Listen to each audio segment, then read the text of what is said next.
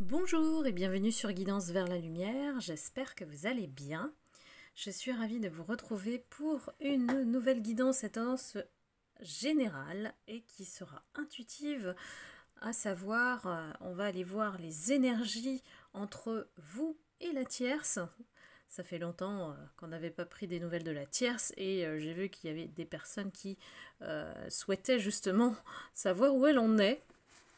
Et j'ai euh, pris euh, spécifiquement deux oracles euh, axés sur les énergies pour voir si vous êtes aligné ou au contraire vous êtes à l'antipode de l'une de l'autre.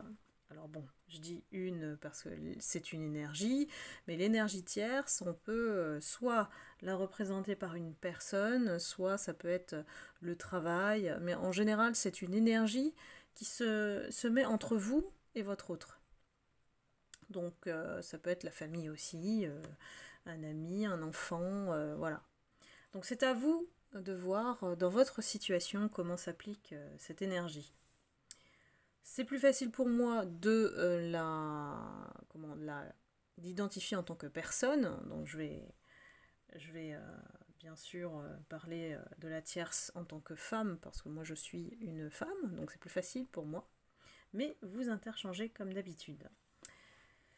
Alors c'est parti. J'ai choisi donc l'oracle des sept énergies pour vous et l'oracle des énergies aussi pour la tierce. On va voir ce que donne ce face-à-face ensemble.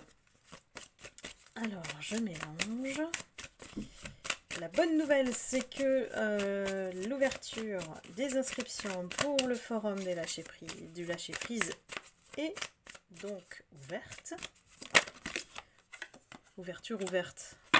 Ça commence bien, hein vous allez sur ma plateforme Calendly comme pour euh, prendre les rendez-vous et euh, donc vous pouvez vous inscrire, c'est gratuit jusqu'au 1er février où ça va devenir payant.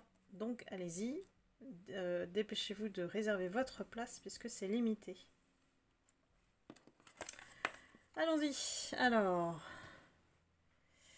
Ici, euh, moi, j'ai euh, beaucoup de personnes parmi vous qui sont aujourd'hui euh, plus dans un état d'esprit d'ouverture. on a envie de découvrir plein de choses en fait en ce début d'année, de peut-être prendre des voies qui soient plus en cohérence avec vous-même cette fois-ci. On s'écoute, c'est très important et voilà, on ouvre la porte aussi, euh, peut-être de nouveaux domaines de, découverte. Euh, on part à l'aventure ici. Alors que euh, la tierce a plutôt une énergie qui est, on va dire, dans sa zone de confort, puisqu'on a le contrat, et elle aime aussi avoir son équilibre. elle veut absolument que les choses soient faites de manière voilà, carrée. Euh, c'est quelqu'un qui est limite euh, dans euh, une routine qui est enfermante parce que il y a des charges lourdes qui pèsent sur elle, peut-être des responsabilités à laquelle elle doit faire face, auxquelles elle doit faire face, pardon. Aujourd'hui, je ne vais pas arriver à parler. Hein. C'est, je crois que c'est Vraiment, quand Mercure rétrograde, je me cache. Tous ceux qui sont sur le, groupe Facebook le savent. Euh, j'évite la communication. Euh, ça peut être une période qui, qui peut amener des jugements hâtifs, des interprétations, voilà, très vite fait. Euh, et ça crée des malentendus en fait. On peut aussi ben voilà, fourcher dans ces mots comme je le fais. Et ça, ça dure jusqu'au 4 février. Alors bon, encore euh, deux semaines et puis, euh, et puis euh, on sera tranquille. Alors, pour vous, il y a un appel à l'inspiration. Il y a des personnes qui, pour moi, devraient, si elles ne le sont pas, être dans des domaines plutôt créatifs, qui font appel à peut-être un côté artistique, ici, on a une contribution personnelle. C'est ça qu'il faut comprendre.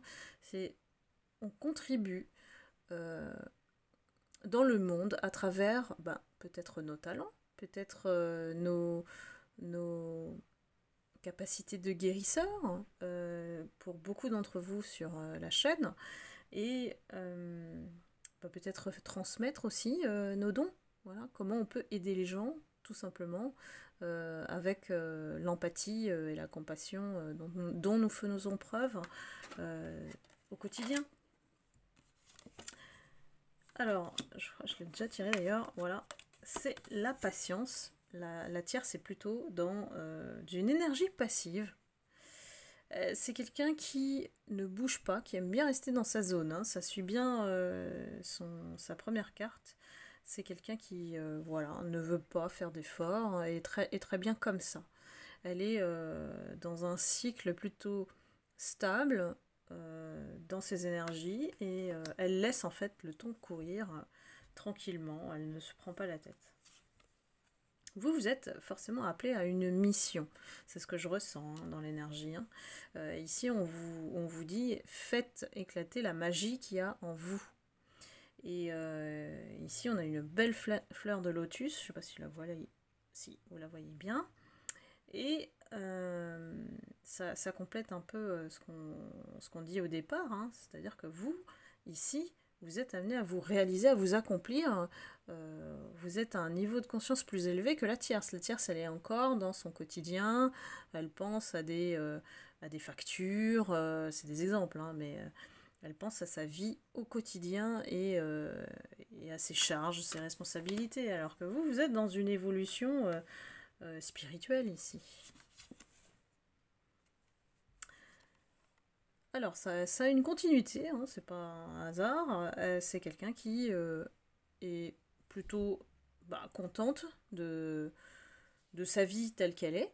C'est-à-dire qu'elle reste euh, passive, mais aussi observatrice de, ce qui peut arriver. elle a une certaine sécurité auquel elle tient. À laquelle elle tient? Vous voyez, j'arrive plus. Je fourche. Et Ici, on, la sent quand même assez euh, tranquille, heureuse. Elle ne. J'ai pas l'impression qu'elle pense à vous. Elle est bien dans son mode de vie. Ici, on vous dit, vous, d'écouter les signes.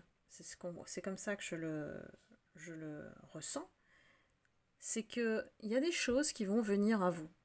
Des opportunités, des rencontres, des personnes peut-être qui peuvent parler. Vous pouvez euh, entendre certaines choses et après, ben, il faut saisir l'opportunité. Euh, ici, c'est une carte qui vous permet de concrétiser l'ouverture qui s'annonce, voire plusieurs. Moi, je vois des opportunités en fait à laquelle vous devez prêter attention.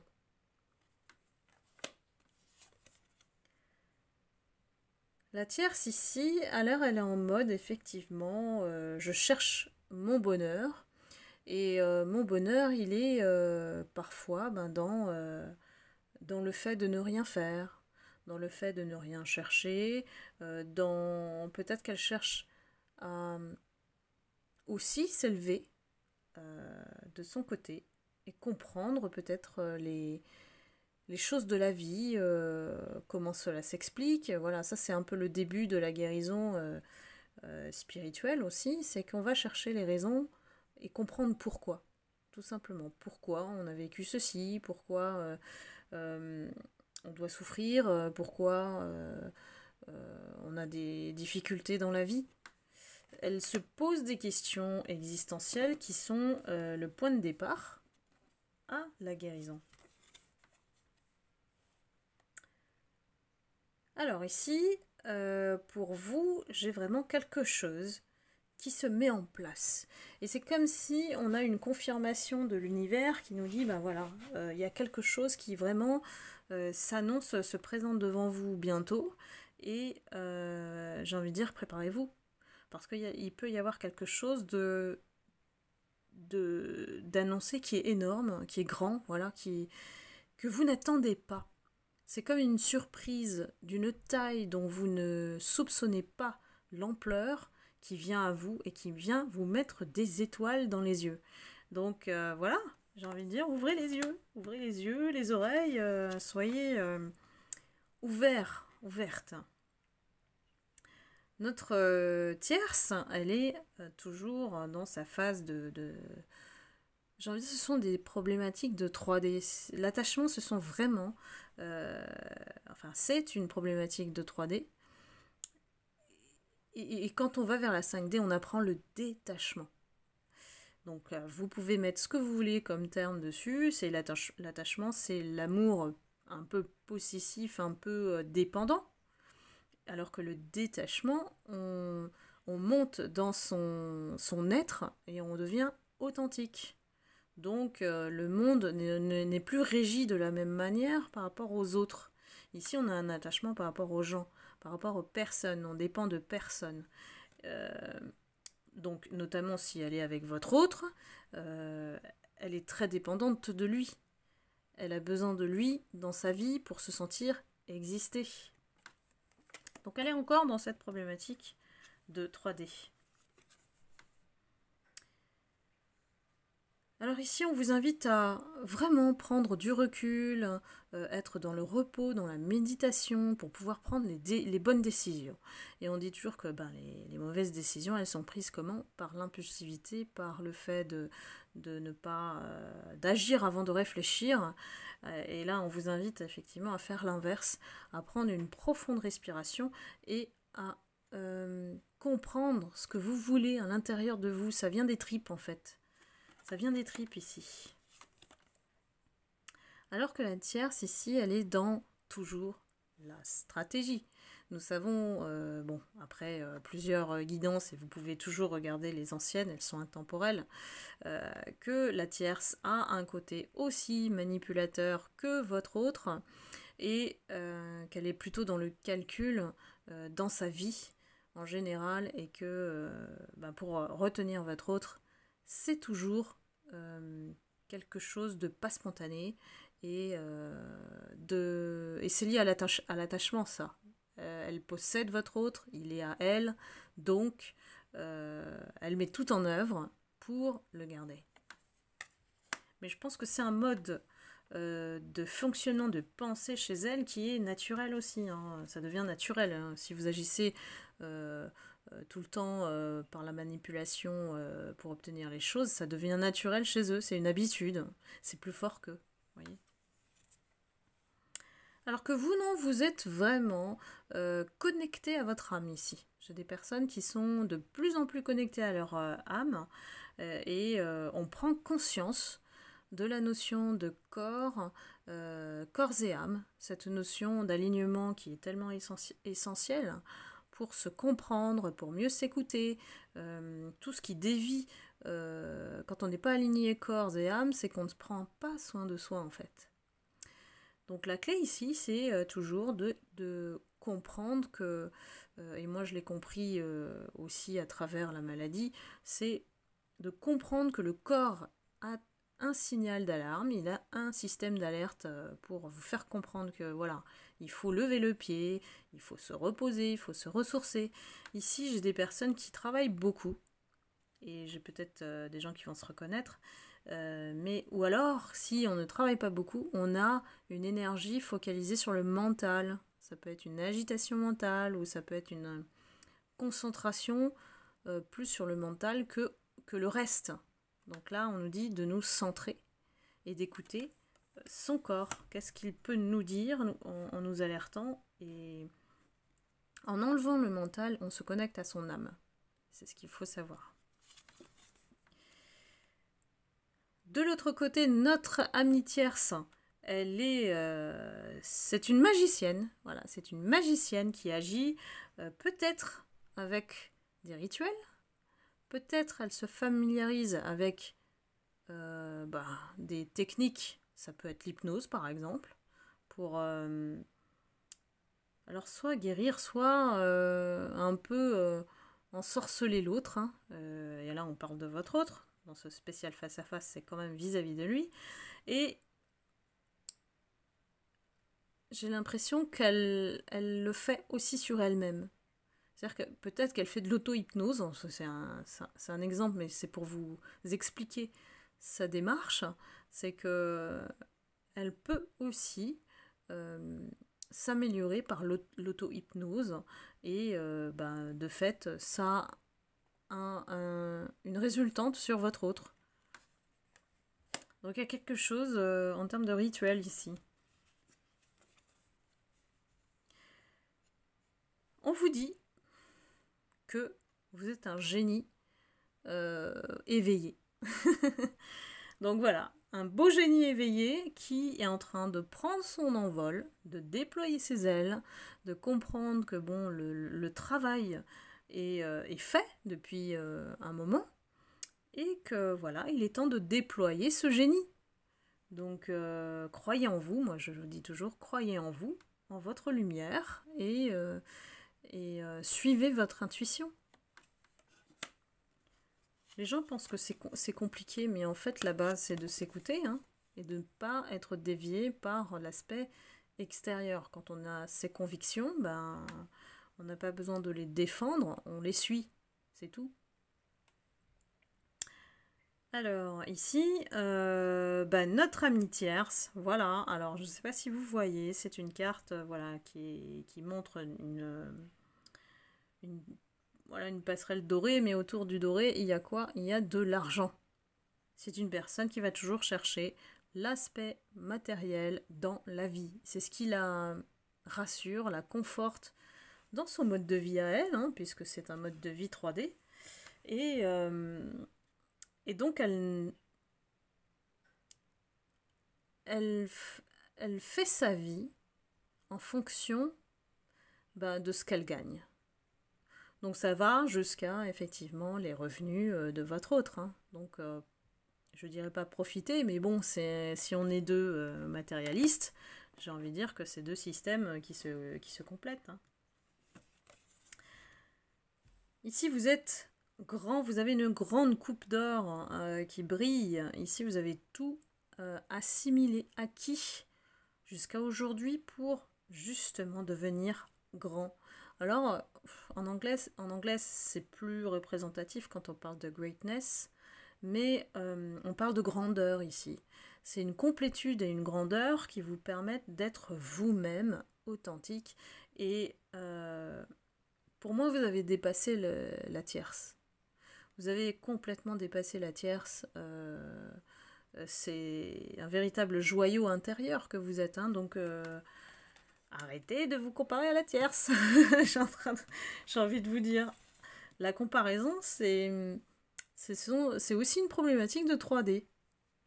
Il faut décoller pour aller vers la sagesse. Et ici, ben voilà, notre chère tierce est toujours dans la recherche de la tromperie.